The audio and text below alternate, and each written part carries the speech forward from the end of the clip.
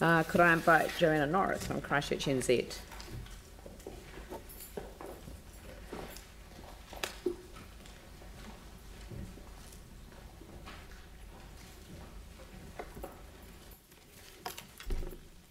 Good morning. Kia ora, good morning. Atamarie. Thank you for the opportunity to be here to speak to our LTP submission. I have with me Robin Andrews, who is our GM of Corporate Services for Christchurch NZ. Um, I want to start by saying that, like all of you, we are committed to a vision of Christchurch as a city of opportunity where we all explore our lives with impact. But to achieve this, all of us in this room need to be courageous. We need to make decisions that make Christchurch not only resilient, strong, and complete, but also exciting, vibrant, and socially cohesive. If we all in this room are to achieve our ambitions for this region, we simply must attract more people and uh, our agency has uh, part of the responsibility for that. As you all know, over the past six years, investment has flowed from the private sector and local and central government to rebuild our city. At its simplest, we now have an incredible new city. We have new retail space, acres of office space, a beautiful retail precinct, and hundreds of new cafes and restaurants, in fact, more than we had pre quake. We need people to fill those. So, without a significant increase in demand, the continued regeneration of our city could easily stall, and we must front up to that reality. We would be left with a partially complete central city, empty buildings, and falling property yields. Closing this gap requires new economic activity into the city, more visitors, more population, and new business investment. And relying on, on existing economic growth, as we know, is simply not sufficient. It will not close the gap. As you are all aware, Christchurch NZ has requested an additional 1.4 million uh, through the LTP to support activity to support closing this gap. Those funds would allow us to support international education, attract and bid for major events in uh, conjunction with VBase, to establish a film office to capture a share of the national film industry. I want to speak briefly to the impact of major events. Um, the, the benefit is clear and demonstrated. They bring social benefit, social cohesion, and also clear and demonstrated economic benefit. For every council dollar that you spend, you will receive tens of thousands of dollars in economic and social benefit. And other cities get this. They are aggressive in bidding for events on behalf of their communities. Uh, I don't need to remind any of us in this room of the massive economic benefit that Ed Sheeran has brought to Dunedin to show just how successful this could be. Those three concerts that uh, were held over Easter weekend attracted 68,000 people into Dunedin at, with an estimated economic benefit of $34 million. One third of those tickets were sold here in Christchurch. That was money that was sucked out of our community and spent in another city over Easter weekend. and uh, at its simplest, Dunedin was successful in obtaining those events because it successfully bid for them and they outbid Christchurch. Uh, the All Blacks are playing in Nelson for the same reason. Nelson was able to provide a guaranteed financial return to New Zealand rugby in a way that Christchurch was not. We simply could not compete. Over the past few years, VBase has bid for uh, a great many events and missed out on those, and VBase estimates that's worth uh, a lost $100 million to the city.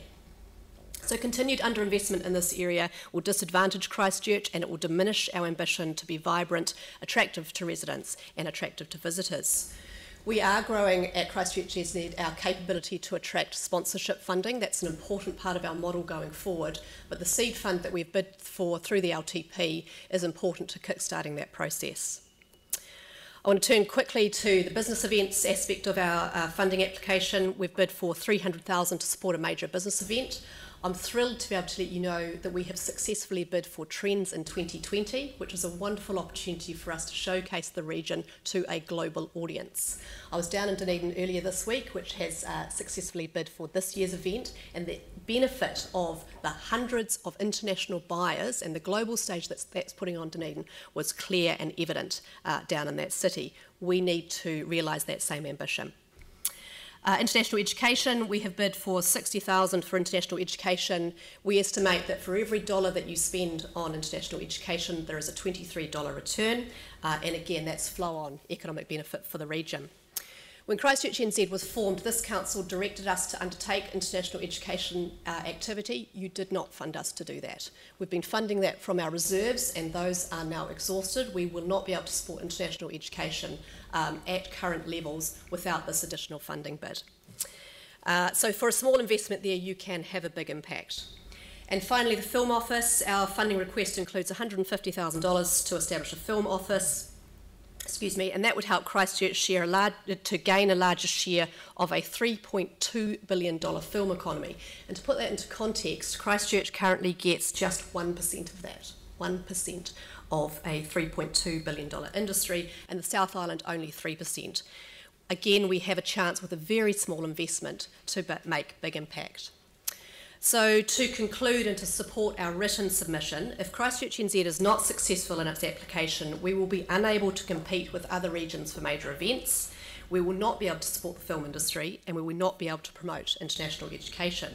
We will lose an opportunity that you have on the table for social cohesion and economic benefit.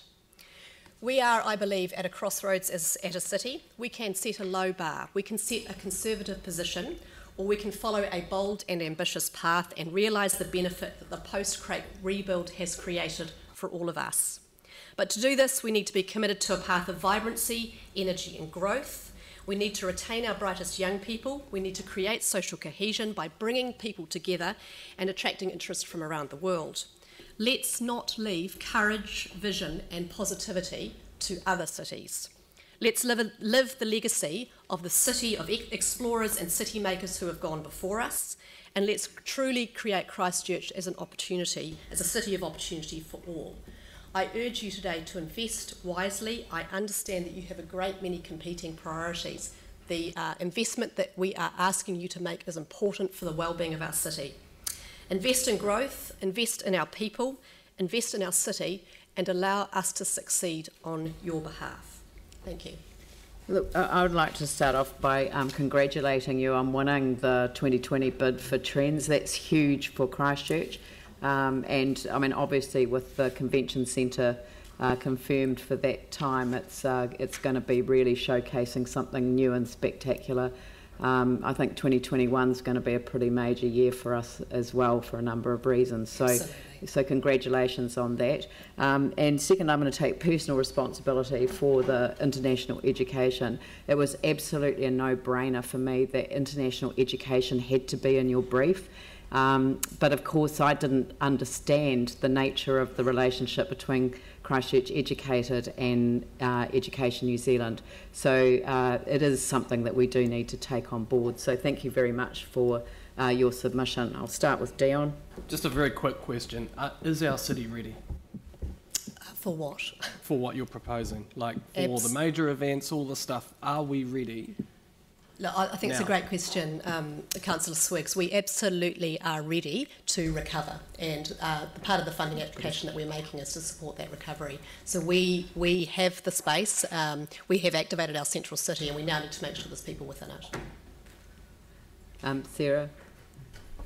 Thank you. Um, probably just a follow on from that. We've had some submitters um, say specifically on the um, attracting major events portion of the funding, which is the majority of it, that potentially we could leave that parcel of funding for a couple of years until a closer time to when the stadium might be ready. Um, and that we don't have the venues potentially available right now to be able to um, cope with that level of funding? Yeah, so the, um, the nature of uh, major events and business event bidding is it happens several years in advance. So um, we're bidding now for 2020, 2021.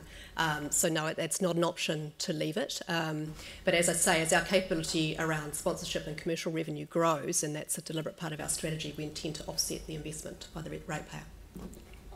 Jamie? That was exactly my question, so I'm fine. Very good. Mike? Thank you.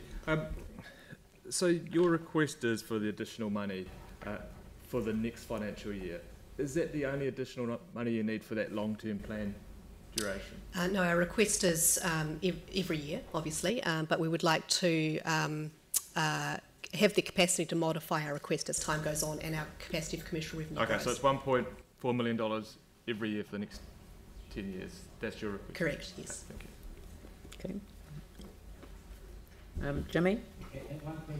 You particular mention, that's really good news regarding to the TRENZ will be held in Christchurch 2020. Mm-hmm. Congratulations. My understanding at the moment, I think in Dunedin have this here. But regarding the funding allocation, those the, you know, in 2020, we will have this one. The category is put on the, to the A90K. That category is a major event or put on the 300K in the business event and convention. Which, which, which, which, which part? Uh, the regarding the trend. TRENZ would be funded from the $300,000 application under business events. Does that answer your question? Yeah, yeah. Perfect. Yeah. Thank you.